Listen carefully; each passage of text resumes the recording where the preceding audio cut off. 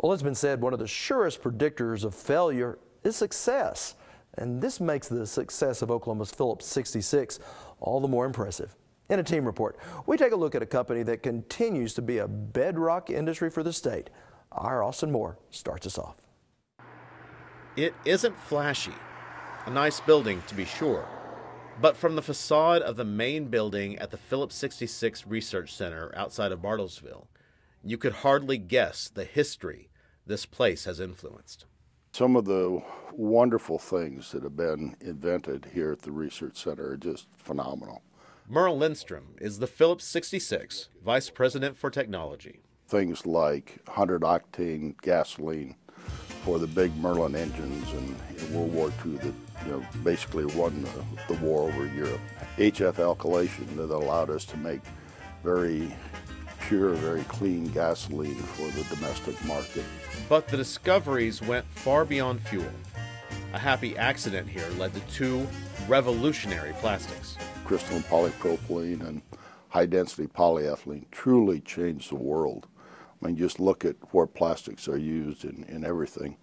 And two gentlemen were trying to make gasoline. They were taking ethylene and propylene and trying to make gasoline, and they got the solid come out of their reactor and were smart enough to try to figure out what it was. And lo and behold, they developed these two world changing plastics. The first commercial success for these plastics was childhood favorite, the hula hoop. But that was only the beginning. Today, we can find those plastics and those spawned from research since in almost every aspect of our daily lives. Not bad for a facility originally created by Frank Phillips in response to a lawsuit.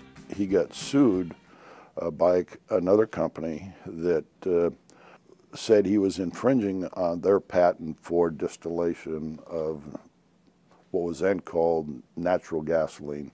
So he hired a PhD chemist to help do some research to uh, win that lawsuit.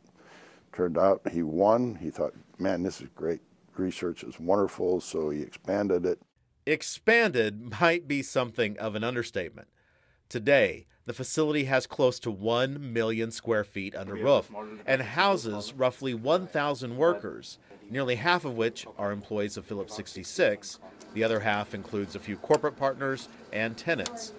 This staff, diverse both culturally and in field of study, makes for an exciting atmosphere for exploration.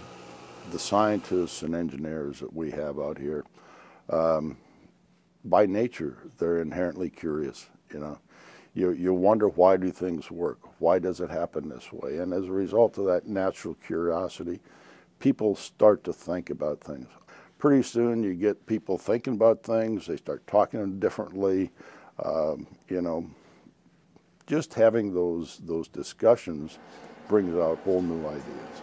But Lindstrom makes sure this group spends a fair amount of time improving themselves, especially their communications. It's not good enough just to do the research. You have to convert it into information that's actually usable. And, and so that whole process is, yes, is very, very important. Making sure the information they generate continues down the pipeline. Now, when we return, Elisa Hines will join us with a look at Phillips 66 future.